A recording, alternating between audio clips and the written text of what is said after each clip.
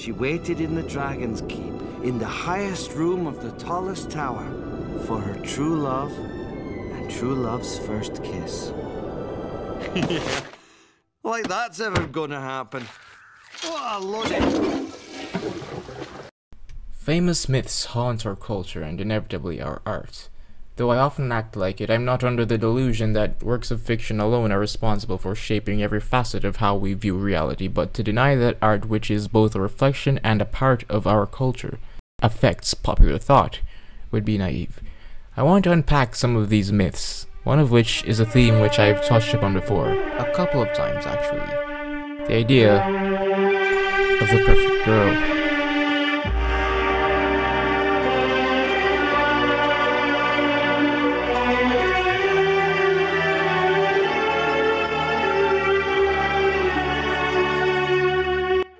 Made a throwaway line in my Barbie video about how horrible the love interest trope is as a default of fiction.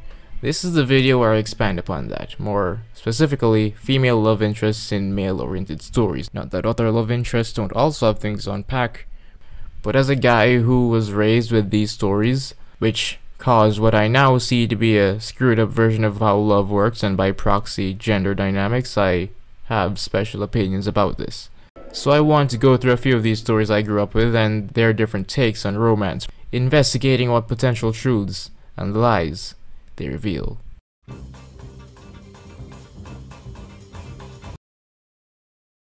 Whether any of this actually happened or not is not the focus, so don't go starting fights in the comments. But Adam and Eve narratively sets the stage for everything. From the very beginning, the woman enters the story because God looks at the man and sees he is lonely. God rips out a literal part of Adam's body to create Eve, a little friend for Adam. She's like a man, but bumpier. Literally made in service of the man to quell his loneliness. Then she gets manipulated by that terrible serpent, convincing Adam to follow suit. The trick with this story is that Adam and Eve both committed the same sin of breaking the one rule that God gave them, but the blame usually falls on Eve not only did she sin first, but she was manipulated, then tempting Adam. You know, Adam ate the fruit because of the one he loves, while Eve ate it because a random talking snake told her to do it. What are you? An idiot sandwich. A couple very unfortunate tropes were born out of this incident. Contradictory, but very common tropes which still exist today that of the temptress and the innocent maiden, both of which are embodied in this first woman. However, come to think of it, I don't know if the Bible ever really said that Adam loved her. Though, I mean, I guess he didn't have a choice.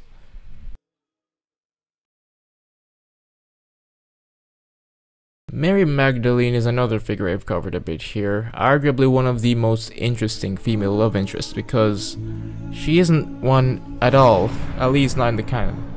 Mary's whole existence in the evolution of the ethereal woman mythology is interesting because most people's understanding of her does not come from the text at all, but rather people's projections and impressions of the text, most of this evolution taking place through painting, the same paintings that made Jesus, a Jewish man into a European supermodel. Sometimes American.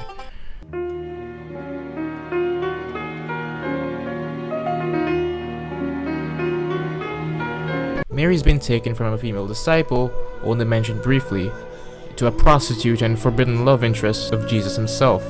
Some believe that Jesus wanted to get with her, but knew he mustn't because of his Christly duties.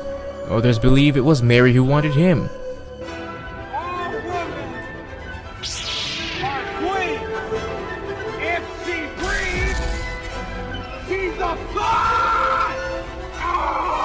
They're both wrong, but I do find it interesting how perhaps the fact that most of these painters and storytellers have been men has so thoroughly distorted the narrative of a story treated with such reverence.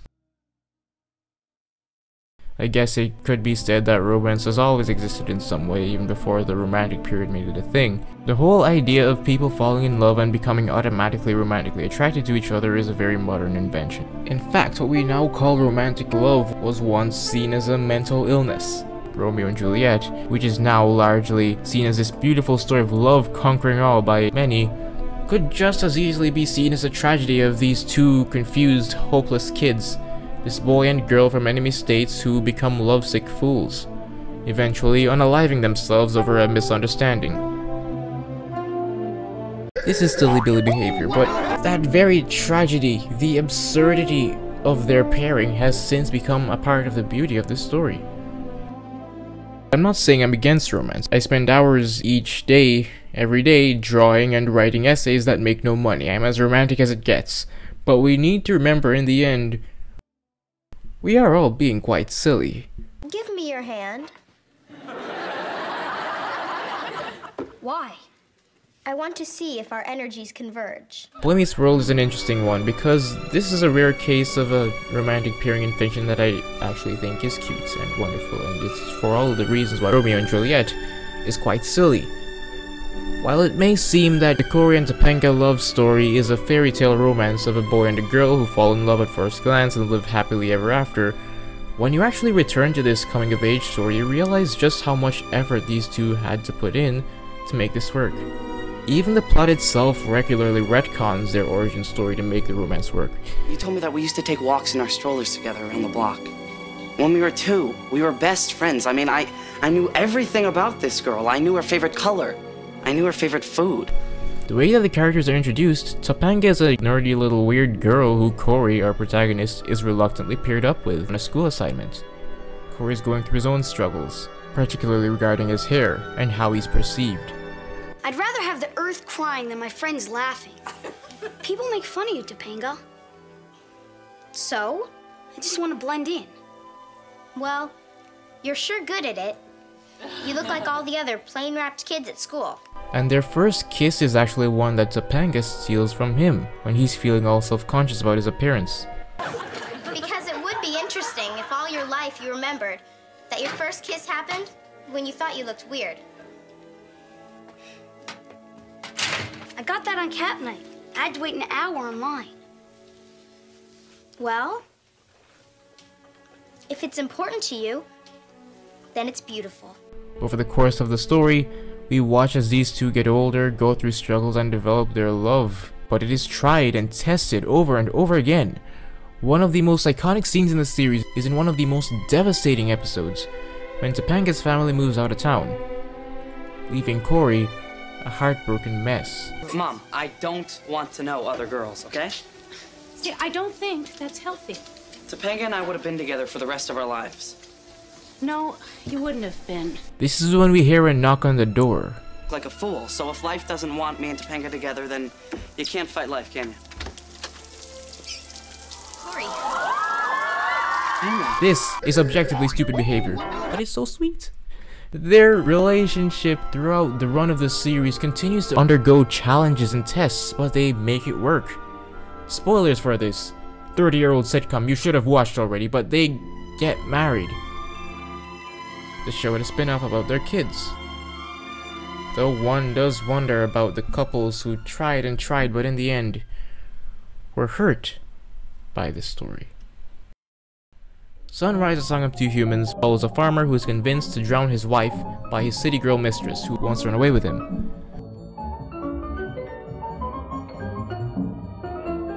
He'd been neglecting this poor, sweet country wife anyway, so it didn't take all that much convincing. He takes his wife out to the sea under the pretense of a little boat ride.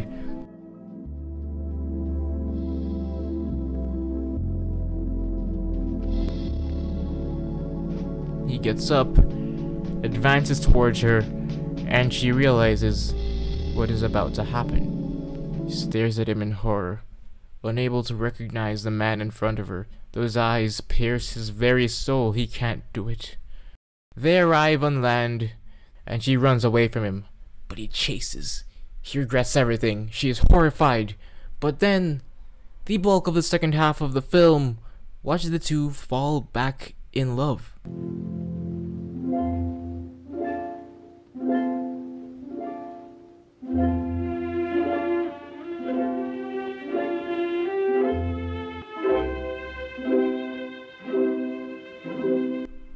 It is wonderful. literally makes me cry every time I watch it. A, a true testament to the power of love, or at least the power of cinema.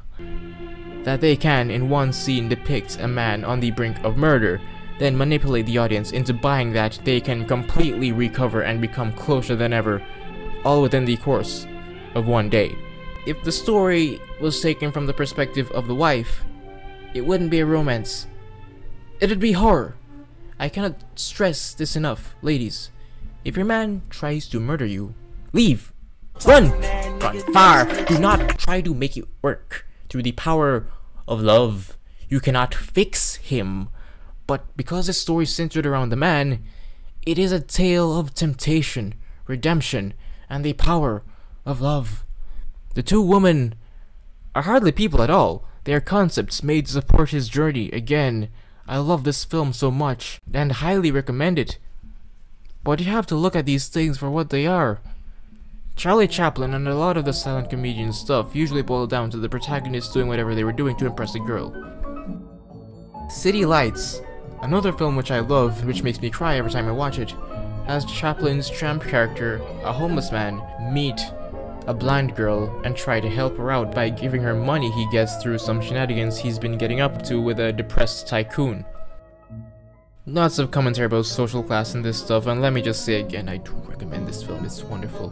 But at the very end of the film, the girl has gotten enough money to get an operation to get her eyesight back, and the tramp, through a truly heartbreaking set of circumstances, is more down on his luck than ever. He finds a girl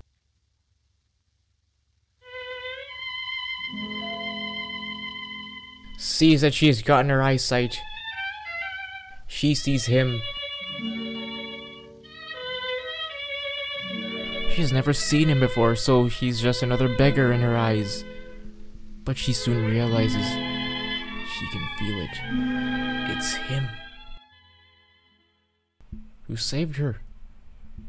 This is the scene that destroys me every time.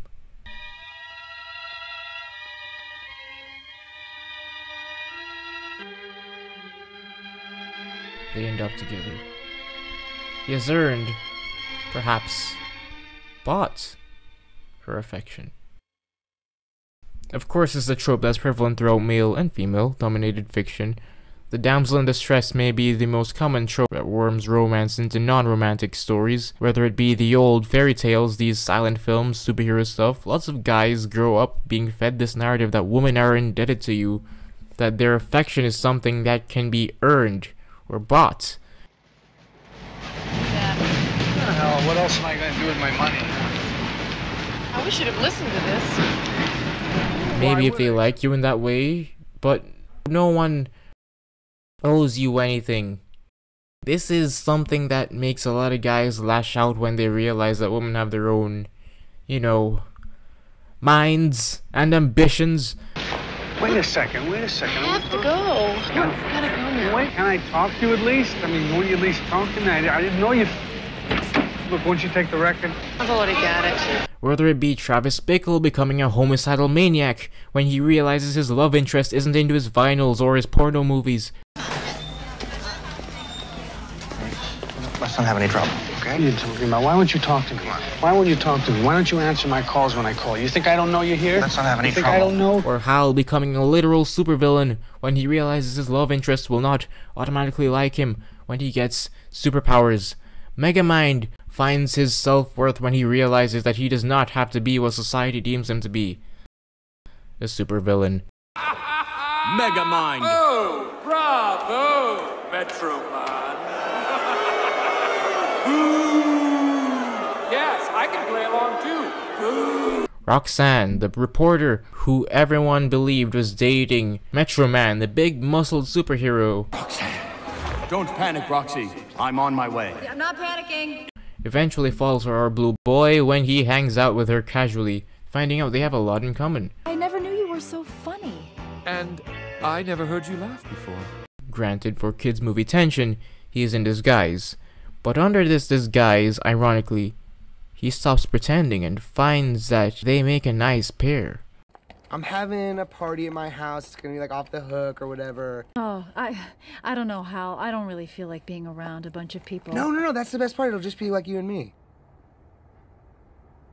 Wow. Then you have Roxanne's Redditor assistant, Hal, Chicks don't like bounty houses. They like clowns. who believes that she only likes Chads like Metro Man. Don't panic, Roxy. I'm on my way. I'm not panicking. So when he is gifted powers, he tries to win her over by tossing her around and saving her. Oh, right, right, duh. I got you. I got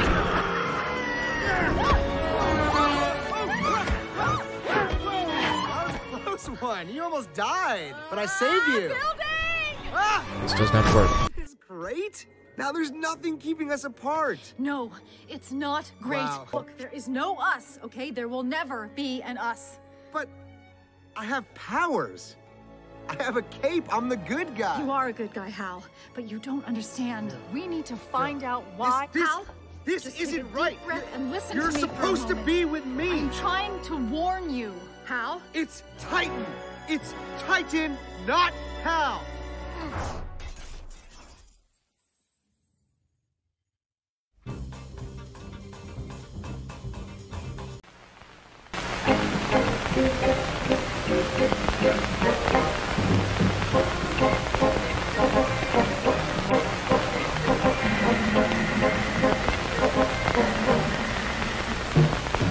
I Dream of Jeannie is a delightful sitcom that I can't recommend to anyone because it's violently sexist. Tony Nelson is a Floridian astronaut who finds a genie in a bottle, washed up on a beach. It didn't act like a bottle. Because in it was a genie. Oh, not your average everyday genie, but a beautiful genie who could grant any wish. She turns out to be a gorgeous woman who becomes immediately indebted to and infatuated with our protagonist, walking behind him and calling him master, granting his every wish. Bandie gush bifarmone toem sarvar. It is as clear as day, the ultimate patriarchal male fantasy of having a gorgeous woman drop in your lap and immediately become subservient and infatuated with you. Oh, do you enjoy the cold weather? Yeah, yeah. I must say, some of the happiest days of my life were spent in the snow and the, the cold in Wisconsin. Like that, Master? Huh? Hey, that's wonderful, Dean. That's what Dr. Bellows, yes.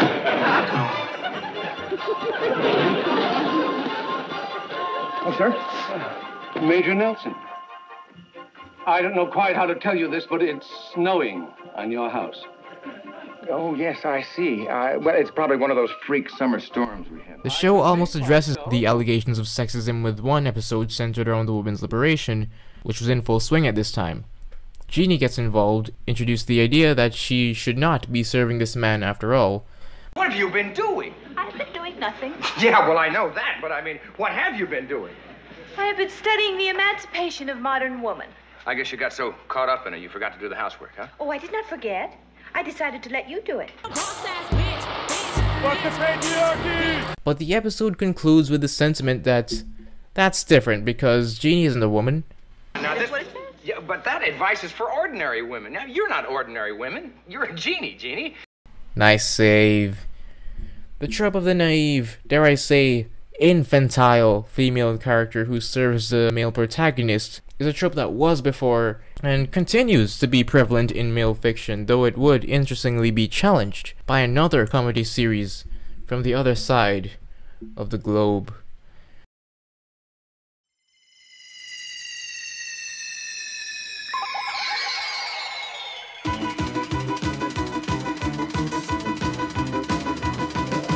Urusei Yatsura is a manga by Rumiko Takahashi, a woman, also known for Ranma Half and Inuyasha, among other series.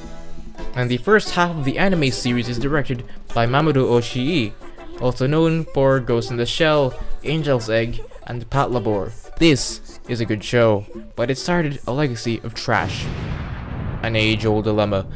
Urusei Yatsura follows a young catcaller pervert Ataru, who, after a misunderstanding, becomes married to a hot space princess, Lum. Lum is in many ways the exact ethereal, naive, magical girl that we've been discussing with Jeannie, but there's a twist. Ataru doesn't want her. Sure, Tony from Jeannie doesn't want his Genie either, but he's presented as this stoic gentleman who's a little annoyed when Jeannie makes mistakes, You did not eat your breakfast, Master. Oh, no, I didn't have time, Jeannie. Oh. though he clearly does like her. But Ataru is this teenage creepo sleazeball pervert. All the girls hate him.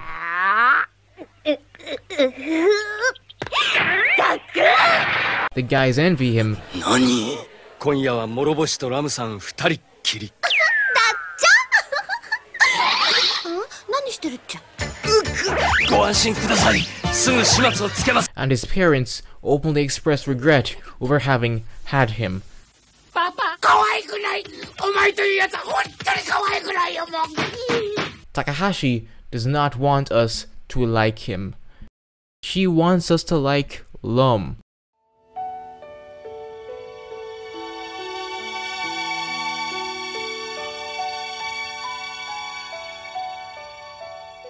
Lum loves Ataru so unconditionally, it makes you feel bad for her.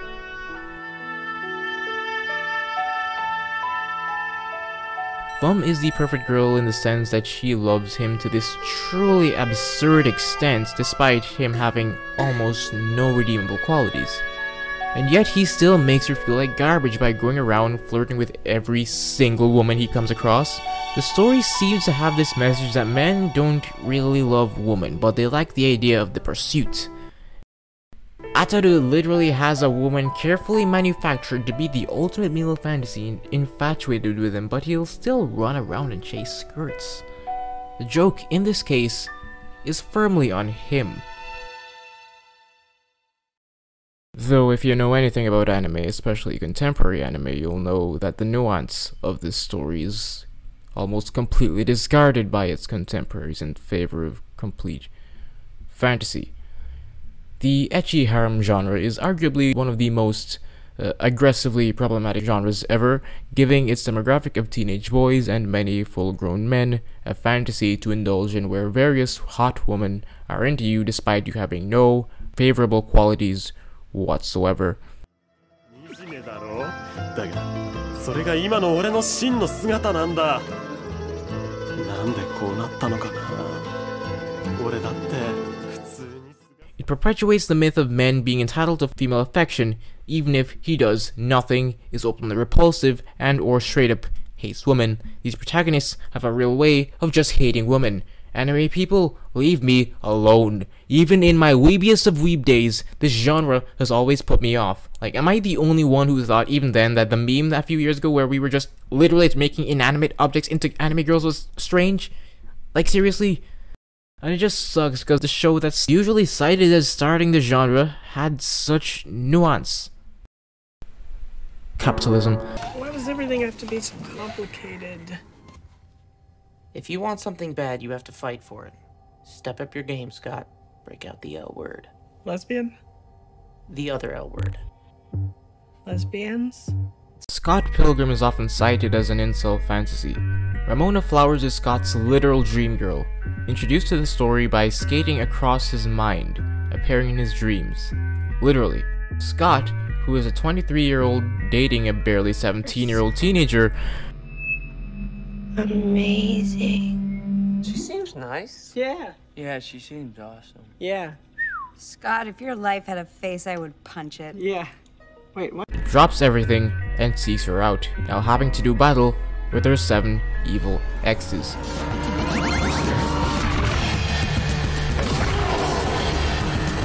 The story is something else.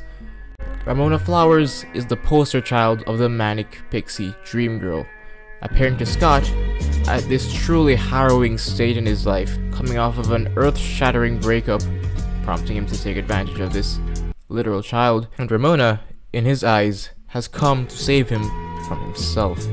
Scott Pilgrim's a difficult one because obviously Scott's a garbage person, but the story deliberately frames him as an everyman. Garlic bread is my favorite food. I could honestly eat it for every meal. Or just eat it all the time without even stopping. You get fat. no, why would I get fat? Bread makes you fat. Bread makes you fat? He's just a little guy doing his best. He has no idea how he's hurting the people around him or just how scummy he truly is. And Ramona is framed as this angelic, ethereal being come to save him. However, as the story goes along, we learn that Ramona is just as flawed. Ramona has hurt many people in her past and continues to put on an emotional front to shield her from being hurt or hurting others. This is something I think the comic does way better than the film, but as the story goes, we are introduced to both of these characters' flaws and the absolute wreckage that they may have done to those they love as well as themselves. There's a reason why Kim Pine is most people's favorite character from the comic. The story of Scott Pilgrim is about learning to move past your trauma and become a better person. But boy, Scott is not punished nearly as much as he maybe should for dating that teenager and proceeding to cheat on her. Ramona, flaws and all, is still very much an unrealistically perfect girl for this guy. Scott has many women in the story who are into him despite him being a loser in every way. It's like the old Urusei Yatsura dilemma except, while Ataru is always punished for his skullduggery, Scott mostly gets what he wants. You're looking at them more than you're looking at me. Look at those two. I mean, it's us 20 years ago. You said you knew me. If you really knew me, why would you bring me here? Because I have no idea what I'm doing. Earlier I spoke about Boy Meets World and the potential toll that Cory and Topanga's story may have had on some couples who really tried and couldn't make it work. Cory's best friend Shawn, who gave us both hair dysmorphia, suffers himself as he, who frankly had a lot more going on in this story than Corey, develops a long-term girlfriend who he goes through hell with as well. I, I don't, I don't know how to be myself around you. I, re- I really want you to like me, Angela. I do like you. If I didn't, I wouldn't be here. So then why is this so hard? Then it's only at the very end of the show that Let's not say goodbye. she leaves. Let's just say I love you. I love you too. I actually kinda like that they did that. FBI, open up!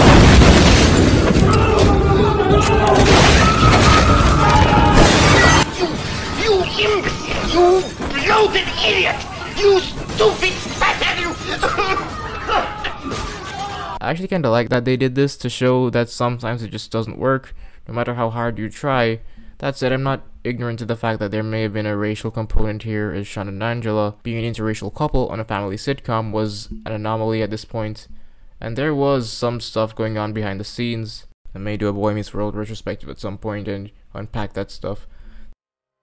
A young man these days has to practice a lot, doesn't he? A young man these days has to work very hard to be able to support a wife, doesn't he? Who said anything about a wife?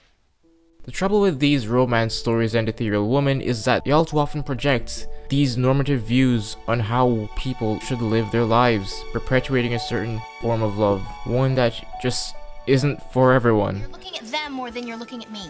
or sometimes just not in this form. You said you knew me. If you really knew me, why would you bring me here?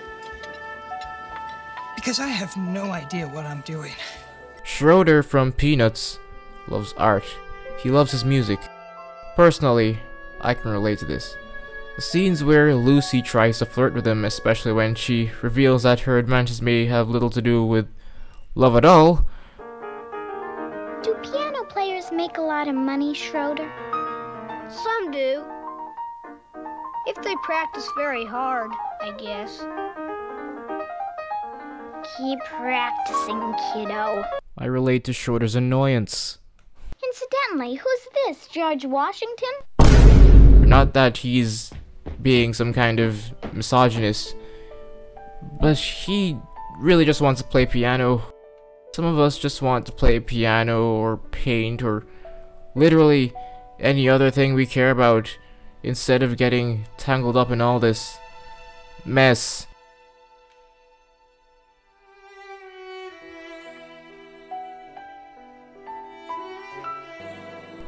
That said, it is romance just as much as any other. dedicating your life to some skill or passion.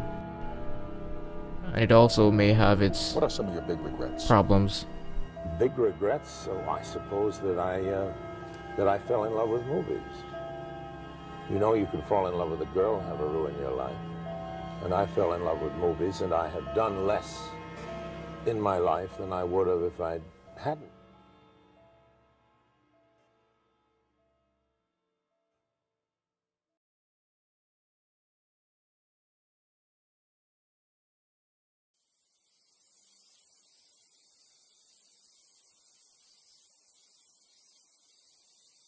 Final two examples I'll be giving here are literally why I decided to make Sessi.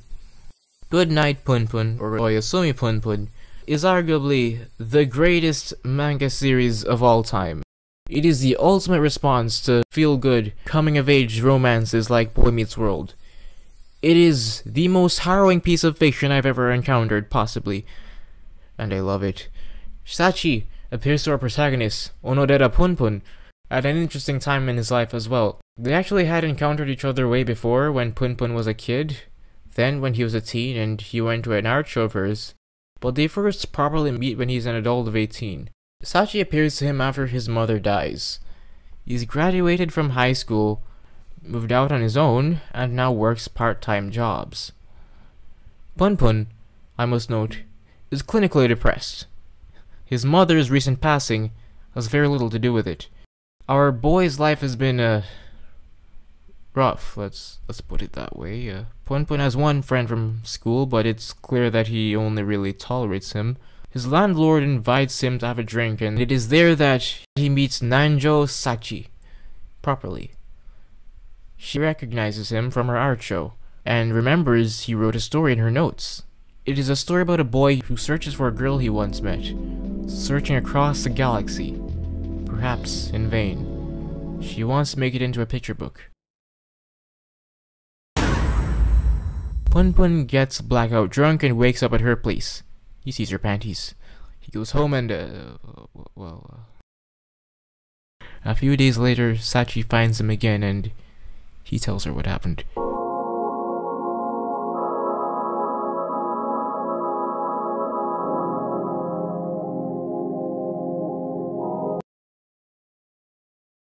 Yeah! You see, when someone tells you this, the correct thing to do is, once again, run! You run far! But Sachi says she's flattered and pretty much brushes it off. She's the one. It is then that Sachi and Punpun start to get really close as they work on this story together and just hang out. This is the only part of this entire manga that is anything close to being happy and blissful. But there is a looming horror that haunts Punpun.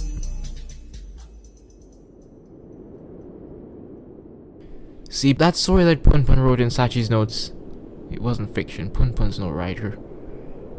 Aiko is, if we're going by the narratives of a coming-of-age romance like Boy Meets World, for example, Aiko is Punpun's Topanga. The story of Oyasumi Punpun opens with a 10-year-old Punpun, a shy little boy who meets the new girl in his class, Tanaka Aiko. They were both social outcasts who came from families they hated. They're both a little bit screwed up in the head. They promise to be together forever. Punpun promises to run away with her to colonize a new star. Then name it Punpunya. He promised to never lie to her. Aiko assures him that if he ever lied to her, she would kill him.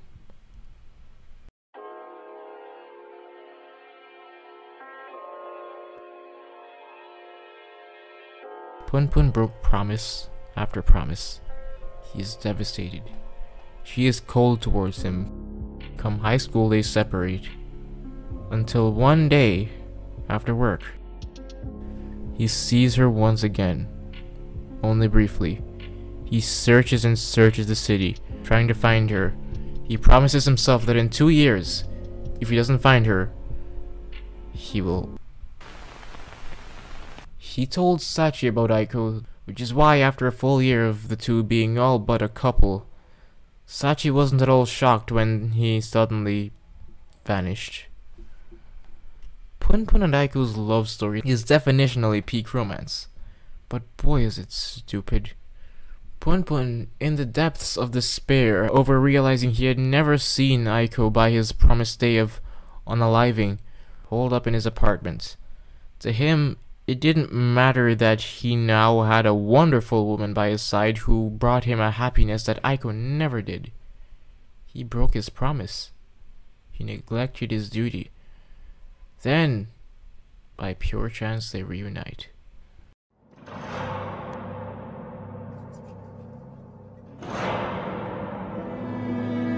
And what we then witness is the single most harrowing, depressing, bleak, painful arc in all of manga. The Eclipse has got nothing on this. I won't get into too much detail about Punpun and Aiko's runaway together, that honestly deserves its own hour-long video, but Aiko is his poison, and he drinks it whole. Only bad, bad, terrible things happened on this trip, and it is the most romantic thing you've ever seen. Aiko wasn't real. Aiko is a concept that has existed in Punpun's head which he has allowed to morph and boil and distort, as happens to most people we care about or hate. The more a person exists in your head, the less real they become. The same goes for how she views Punpun, I imagine. They both allowed each other to become concepts to fill some void they believe exists in their soul through some divine, cosmic fatalism of some kind. This leads to... Well... However, the thing about Oyasumi Punpun that actually rather took me out of it upon revisit is that Sachi... Oh, she's, she's just as unreal. Uh, my mate's playing a gig down there on Friday. I just thought it might be cool to swing by there and check it out. Your mate's playing a gig. Check it out. Mark, you're not trying to get away with pretending you're a normal human being, are you? She's the one. Bobby from Peep Show is an angel. Like Sachi, she appears to her protagonist when he is at his absolute lowest. Peep Show is the greatest cringe comedy British sitcom. It was created by Jesse Armstrong, who also made Succession. Peep Show follows two 30-somethings, Mark and Jeremy, or Jez, Jez, as they, like Punpun, go through the existential horror of life's mundanity. Where's the turkey, Jeremy? What? The turkey. Where's the turkey? I thought you were getting the turkey. You what? No turkey? You fucking idiot, Jeremy! You total fucking idiot! That was your job, you fucking moron! You cretin! You're a shithead! That's what you are! A fucking shithead! It was a joke, Mark. These two, as I see it, are both embodiments of the average Gen X British guy in the early 2000s. You have Mark, the stuck-up pencil pusher wage slave who always strives to be the ideal of what his society has deemed proper. Look, Jeremy, we've been through this before. I do the joint shopping solo because I don't make impulse purchases and I'm less swayed by the power of... And Jez, who is the exact opposite. An unsuccessful musician who freeloads off of Mark, regularly engaging in hedonistic acts rather than contributing anything to society. They're both jerks, created by a system that fails people. England. Mark, for the first half of the show, has a love interest. His co-worker Sophie, played by Olivia Colman, who he always seems to drive away in his attempts to impress her. I see you not around, but here. Okay, great. See you.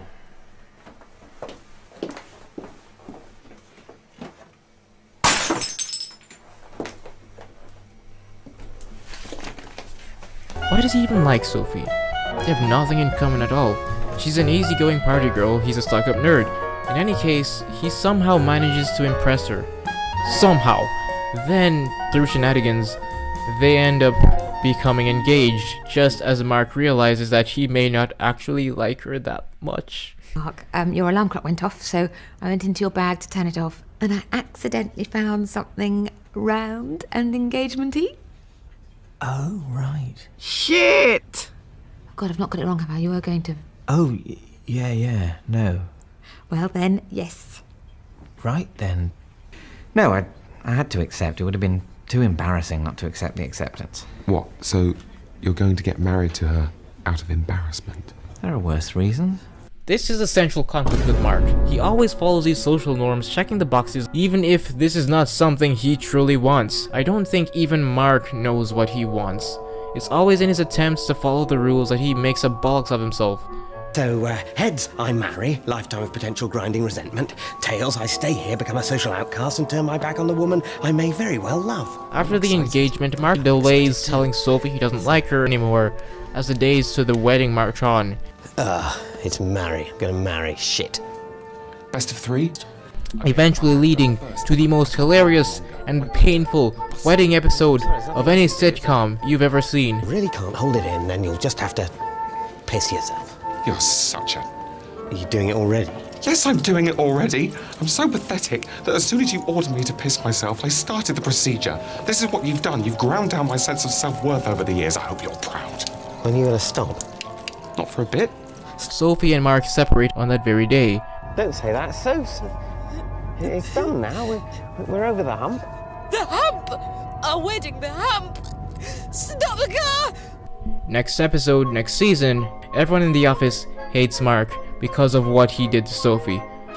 I'm Debbie, but everyone calls me Dobby. Are you new? I, I don't think I've seen you here before, have I? I'm the IT misfit, the man with no name. It is then that this weird little woman with a block of cheese decides to eat lunch with him. Is that allowed? I'm a smoker, I need man cheddar, you know? Dobby and Mark are both social outcasts in this setting, and maybe at this point they just need each other. At first I'm thinking, maybe hoping, that this just remains a platonic thing, and they remain pals. That's when Dobby invites him to a closet to reach for something for her, and uh, this this happens. Oh, I can't reach. Could you? Uh, yeah, sure. Um, uh, you'll, uh, you'll you'll have to move. Yeah, I should move, but I might not move.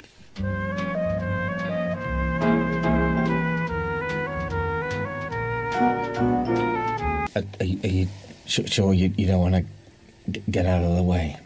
I'm alright. This scene does way more than any exploitative thing that Sam Levinson has done in his career. Mark's troubles always come from when he tries to be someone he's not. Trying to be all, you know, British. Bloody Tuesday in it. But Dobby sees him as he is and says, I'm into that. You're not trying to get away with pretending you're a normal human being, are you? Dobby represents the idea, the concept of accepting yourself, and Mark still manages to mess it up. She's clearly created to be perfect for Mark, but he still manages to make it difficult for her in his attempts to be society's ideal. You know, fulfilling his duty. Cauliflower is not traditional, Dad. Cauliflower is traditional! I don't know if it really is traditional. Not slip a muzzle on your woman, please, Mark.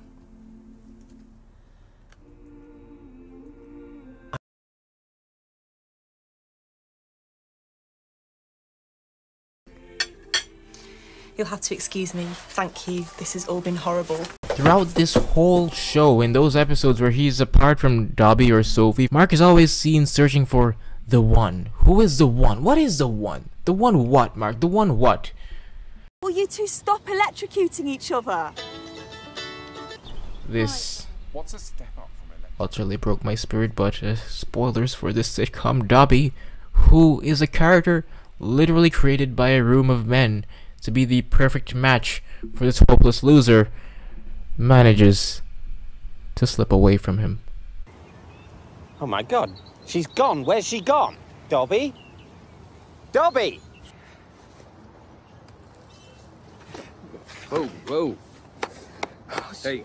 I'm sorry about that. I'm sorry about that. Jez was also at fault to be fair, but the way that these two broken people managed to ruin everything and sabotage both of their chances at happiness in life, I think there is a beautiful lesson in there for all of us.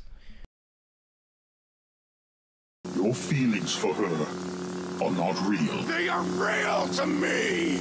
Dobby, Sachi, Lum, Jeannie, Topanga, Aiko. All these women are fake. They are real to me! They were all crafted by teams of writers and artists to be ideal for a male protagonist, for a potential male audience to project themselves onto. I have built shrines for Nanjo Sachi. I want to take her to the opera, or at least I did the first time I read that thing. The second time I was rather disappointed because the two-dimensionality really stuck out. Oyasumi Punpun is a manga deliberately written and drawn to be as immersive and realistic as possible, which is what makes those bleak parts feel so bleak. But there is no woman on earth as perfect as Nanjo Sachi. Even within the context of the story, she has had plastic surgery. That is a mythical girl who was created explicitly to be a plot device to comment on the weakness of the male protagonist. All of these stories, some more nuanced than others, in the end are fiction. None of these girls is real. Women resembling them in some way or another may exist, but make no mistake, every character you see on the screen or on the page is a piece of artifice. The nature of storytelling necessitates that all characters support the protagonist. When so many protagonists are men, men that like women, the love interests written into the stories can only exist to support them in some way or another. And the thing is, it doesn't have to be this way. Mark soon learns that he never really loved Dobby either. There's Dobby. She doesn't like Pasanda and quality TV drama. She likes hitchhiking and terrifying actual drama. We don't fit. Oh my god, I'm letting go. I've crossed the bridge into adulthood. I'm moving on. I'm going to delete her off my GPS. This narrative that our stories perpetuate that men and women are always just fated to end up together is false. And not only is it false, it's dangerous. It lies, and quite often, for those who just don't know better, which in my experience is a lot of people, it hurts. Men who turn on women when their expectations are not met, men who turn on themselves, harassment, sometimes violence, all because of these artificial stories that we perpetuate. Not everyone is built the same way, not everyone likes the same people or lives the same life. Not everyone likes you. Maybe let's change the narrative a bit. Maybe we should have more narratives of people who get their fulfillment just from being themselves. Nothing wrong with having men and women just be friends. TLDR, leave me alone family, I don't have to get married if I don't want to.